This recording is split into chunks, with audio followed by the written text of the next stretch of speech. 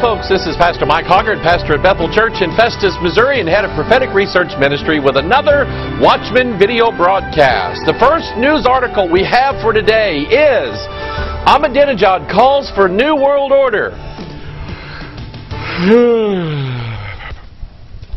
Sorry, but it's getting kind of boring. Uh, seems like I'm a Ahmadinejad, every time he makes a speech, he says, New World Order, we're going to have a New World Order. Uh, I'm a 12er, I'm going to bring up the Imam out of the well. Um, maybe this guy is going to be significant at some point, um, but you keep saying the phrase New World Order, New World Order, New World Order, New World Order all the time, and uh, pretty soon nobody believes you unless you're really planning on bringing in a new world order. And uh, I want to sort of preface uh, what we're going to deal with in the rest of the broadcast, uh, sort of along that line, and, and maybe explain a little bit what a uh, or what the new world order is all about. It all hinges upon Bible prophecy, and and anything you know about this ministry, you know that uh, with me, um, if it's not in the Bible, it doesn't exist, and uh, I have not. Uh, I have not dealt with certain things that have come across uh, my way. People send me emails, Pastor Mike, look at this. Pastor Mike, take a look at that. Uh, here's information on this. I, I won't deal with it unless I can see it clearly in the Bible. And, and I don't want to list off all of the conspiracy theories um, that I won't deal with. It's not that I uh, refuse to believe them. It's not that I refuse anything about them. It's just that in time, God has to show me these things from the Bible. And I really want to encourage you.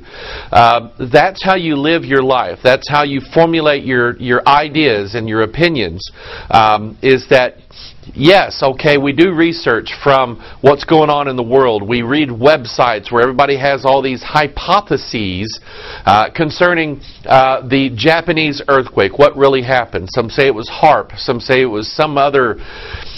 And I will say, hopefully, you will never, ever, ever, ever, ever hear me say on the Watchman broadcast, false flag. Okay, I, I won't use that term. Hopefully, I will never use that term. Um, it just seems like every little thing that happens, it's a false flag for something else. Oh, there, I used it. Uh, but anyway, uh, formulate your theories. What you see out in the world um, must match what's in the Bible. This is one of the things that we like to do. We like to deal. We like to deal with conspiracy facts rather than just theory. I want to know rather than guess. And I want you to know rather than just believe me or believe anybody else out there. I want you to know. So I want to I want to preface some things uh, with a much studied, much uh, talked about chapter in the Bible, and that is Revelation uh, chapter 13. Here is sort of um, the uh, and and there's other places in the Bible that we could go to, and we will in this broadcast. But um, I want to preface this with uh, a study of just Revelation chapter 13, and just kind of reading over this, and then we'll launch into some of the other articles, a lot of which that you sent to me in the last few weeks, and thank you for that. Revelation 13, and I stood upon the sand of the sea and I saw a beast rise up out of the sea. Now, the first thing I'd like for you to do is I would like to put, I would like for you to put your literal interpretation glasses on. Okay, um, God does use symbols but those symbols are literal, and, and he will explain the symbolism of them in the other pages of the Bible. That's very, very important to know, um, so that you don't point to someone and say, "That's I think he's the beast. I think he's the Antichrist. Uh, I think Obama is. I think Prince Charles is. I think uh, Lady Gaga." Uh, is the beast. I haven't heard that one, but it would be a good idea. Uh, but anyway, it literally is a beast, a, a spirit realm uh, beast, a, a, a part of the. Um, the group of angels called cherubs. They have beast-like appearance and, and so on. So John is describing in a literal fashion what he's seeing happen here. Uh, this beast was cast into this pit at some point, probably as part of the angels that sinned, that committed folly. In Genesis chapter 6, uh, he said, I saw a beast rise up out of the sea, having seven heads and ten horns. Literally, but also symbolically. The symbolism of the number seven, the number ten, the fact that their heads and so on, they mean something. And upon his his horns ten crowns, and upon his heads the name of blasphemy. And the beast which I saw was likened to a leopard, and his feet were as the feet of a bear. Yes, they are symbolic but they are also literal. John is describing the exact appearance of this beast. Um, and his mouth is the mouth of a lion, and the dragon gave him his power and his seat and great authority. Do you believe in dragons? I do. I believe there's one great big gigantic, really mean, vicious, fire breathing dragon. His name is the devil, Satan, Lucifer. That's, that's who this is. The dragon gave him his power and a seat and great authority. So we see the dragon giving this beast his power and his seat, which means his dominion and his authority. This is the New World Order. And I saw one of his heads, as it were, wounded to death, and his deadly wound was healed. And all the world wondered after the beast. And they worshiped the dragon which gave power unto the beast, and they worshiped the beast, saying, Who is like unto the beast?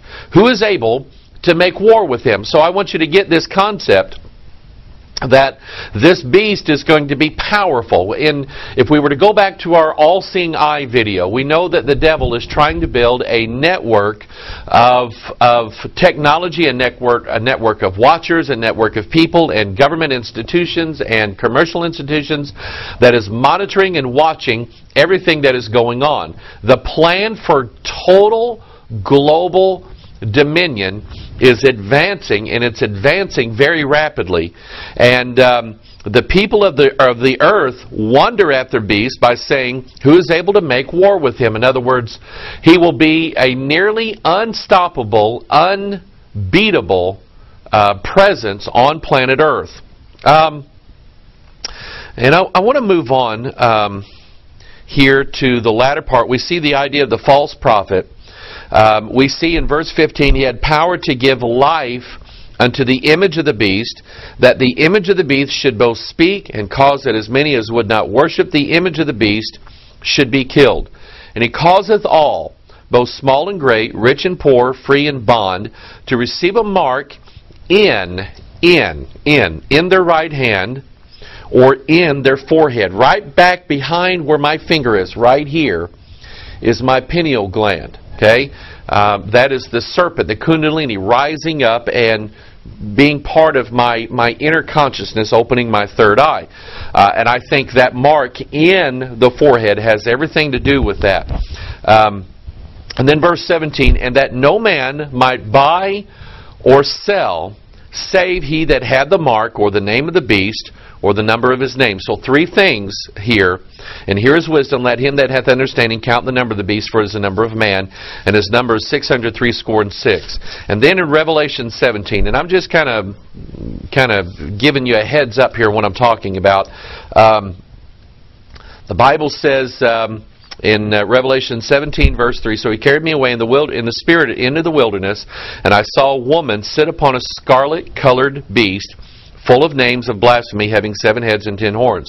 And so we see the woman who is Mystery Babylon. She is uh, Ashtaroth of the Old Testament, Diana of the New Testament. Um, she is the Queen of Heaven, uh, mentioned in the book of Jeremiah. She is, uh, she is Isis of the Egyptians. And I want you to remember that. She's the